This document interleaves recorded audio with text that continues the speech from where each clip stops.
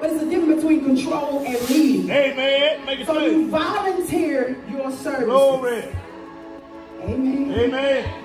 Involuntary means you become a slave. Amen. That means you were forced to do it. Amen. And some of us, we show up like God, we are forced to be in church. My God. Sometimes we show up to God like we are forced to worship Him Hallelujah. Because we got too much other stuff in the way, too much stuff clouding us. We can't worship Him too much in the atmosphere. Yes, But you ought to show up voluntarily to worship Him with everything that you have because you have a servant's heart. Amen. God, you don't have to make me praise you. You don't have to make me come to church. You don't have to make me give because I am a servant. I got a servant heart. I volunteer my service. Oh, God commands us in His Word that we ought to serve one another. Amen. And I'm going to prove it in just a minute.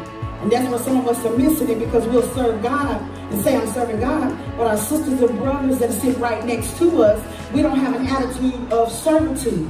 We have to understand that every gift, I've said it before, that God has blessed us with, we don't own it. You don't own the gift that God gave you. So to ration it out to who you want to ration it out to does not make you a servant. When a servant will say, God, I volunteer my services, but I'll go wherever you tell me to go. I'll say whatever you tell me to say.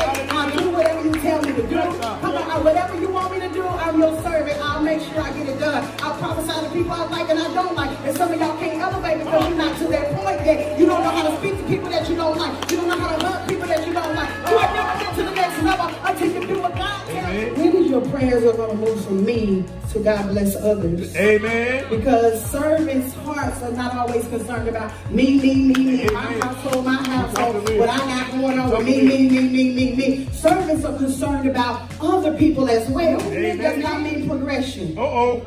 Busyness does not mean production. Amen. Just because a person is busy does not mean that they're getting anything done. Hallelujah. So are you serving out of action? You look like you're moving and making progression, but are you serving out of love? My God.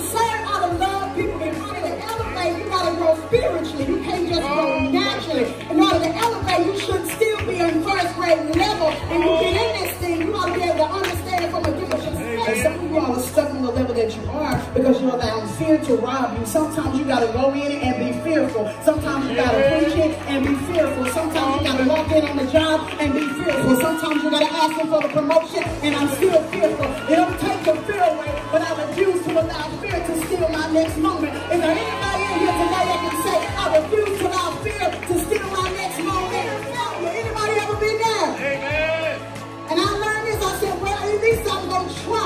to fight my way to this point. At least I'm going to try to get it. And you won't be sad that I didn't try. At least I'm going to move forward because if I stay here, I might die where I'm at. So I might as well try. Or die trying.